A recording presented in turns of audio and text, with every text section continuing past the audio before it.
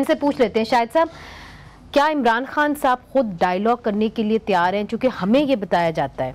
आपके अपने लोग बताते हैं गवर्नमेंट के लोग बताते हैं कि खान साहब ने कहा है, मैं इनसे बात करूँगा ही। जी देखिए, बिस्मिल्लाह रहीम, सबसे पहले मैं आपका शुक्रिया अदा करता हूँ। जी देखिए, कैसर शेख साहब जो हैं एक शरीफ नफ्स इंसान है, हम इनकी रिस्पेक्ट करते हैं। असम्बली में भी जब भी इनको देखा तो बड़ा शफीक पाया। लेकिन एक चीज़ कि इतनी आसानी से कह देना कि जी तमाम इलेक्शंस के ऊपर जो है, वो रिजर्वेशन रही। जी, देखिए, इस इलेक्शन की नूत बहुत मुख्तलफ है। इस इलेक्शन में दानली नहीं हुई। जी, देखिए, ये हम सुनते आ रहे हैं, जितनी भी इलेक्शन हुए पाकिस्तान की तारीख में, हर इलेक्शन के ऊपर कोई ना कोई तनाज़ा ज़रूर रहा। लेकिन ये तारीख में पहली दफ़ा हुआ कि फॉर्म 45 के जीते हुए उम्मीदवार जो प्रेजाइडिंग आपके पोलिंग एजेंट को फॉर्म देता है कि आपके कितने वोट है जहाँ पे वो काउंट मेट करते हैं।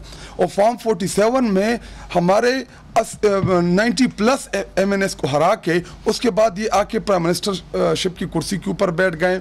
केसर साहब जो है वो मिनिस्टर बन गए, कोई स्पीकर बन गया, कोई डिप्टी स्पीकर बन गया। और उसके बाद ये हमें ऑफ़र करें कि जी आप आए हमारे साथ मुजाकरात करें और फिर हम राज़ी हो जाएँ इस बात के ऊपर। जी देखिए ये इशू जो है, ये मसला जो है, ये तरीकानसाफ़ का नहीं है। ये इस मुल्क का है। कौन करेगा इस जमहूरियत के ऊपर यकीन?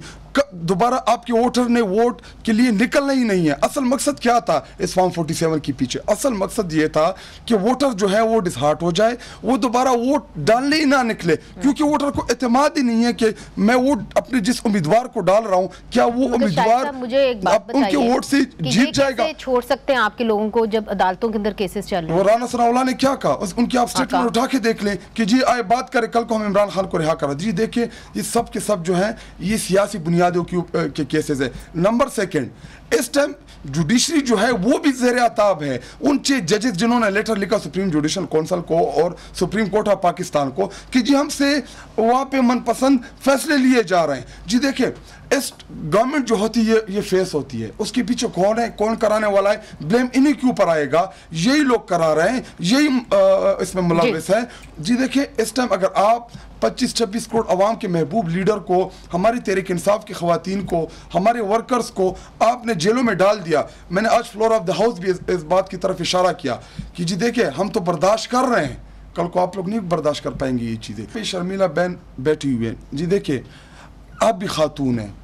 जो जो शरीयत के बताई हुई असूल है एक खातून कह रही कि जी मेरा इद्दत पूरा है मैं और आप कौन होते कि ये डिसाइड करेंगे। एक एक लीडर को सिर्फ़ आपने इद्दत के केस में उनको चले वो चीज़ अदालत में है। जी देखिए ये चीज़ पर आ जाएगा। अगर वो नहीं छोड़े जाते मैं तो आपसे सवाल कर रही हूँ उसका जवाब आप दें आपकी मर्ज़ी है। मगर क्या आप लोग कोई मूवमेंट चलाएँगे कोई आप तहरीक चलाएँगे अगर इमरान खान साहब को कल ना छोड़ा गया? जी देखिए हम सिर्फ़ अपने चेयरमैन इमरान खान साहब की कॉल का वेट कर रहे हैं पूरी कौम तैयार है। अच्छा और और इस टाइम का इंतज़ार है। उनकी कॉल का इंतज़ार अच्छा अच्छा पीटीआई से लाख इख्तलाफ हो लेकिन इस इद्दत वाले केस के अंदर मैं समझती हूँ ज़्यादा हो गई है।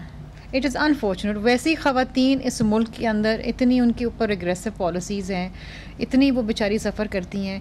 This case has really broken my heart I agree with you I entirely agree with you और ख़ास तौर पे एक कोड होता है कि आप लोगों के जो है ज़ाती मामला के अंदर नहीं जाते। एक हद से ज़्यादा एक हद से ज़्यादा नहीं जाना चाहिए।